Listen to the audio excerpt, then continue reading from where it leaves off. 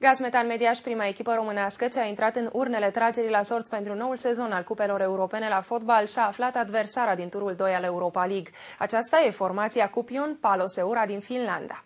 Echipa finlandeză a terminat pe locul 2 campionatul trecut. Jucătorii lui Cristi Pustai vor disputa prima partidă în deplasare în data de 14 iulie, iar returul este programat o săptămână mai târziu la Mediaș. Cristi Pustai a declarat imediat după tragerea la sorți că nu are niciun fel de date despre adversar. Avem parte de un adversar, vicecampioana Finlandei, Prea multe informații despre această echipă nu avem, cum probabil și noi suntem niște necunoscuți pentru adversarii noștri.